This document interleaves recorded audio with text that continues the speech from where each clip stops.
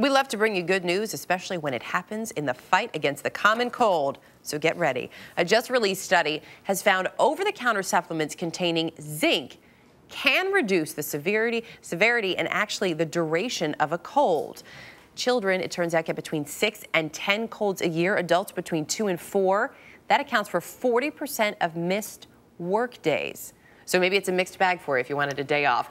Medical correspondent Dr. Jennifer Ashton is here with the details. There had been all of these studies done for a long time looking at zinc that found pretty much the opposite, that it didn't do anything. So right. what has now changed with these findings? Well, the controversy continues, and we're always looking for the cure for the common cold. This might not be the cure, but it certainly looks like it's a promising treatment. This was a, a study that looked at 15 other studies, a little over 1,300 people, and found that those who took zinc in supplement form every one and a half to two hours reduced the severity of their cold symptoms and shortened the duration of the cold, not by a lot, by one day, but still, if you're suffering from a cold, that one day means something. And that's fantastic news. How do you have to take the zinc? Well, in this study, you could take it in any form. So you can take it in liquid, drop form, in tablet form, in the lozenge form. We have to remember when we're talking about zinc, like any other supplement, you can take too much of it. Mm -hmm. So the side effects that we're seeing were a little upset stomach, nausea, abdominal pain. You can get some mouth irritation.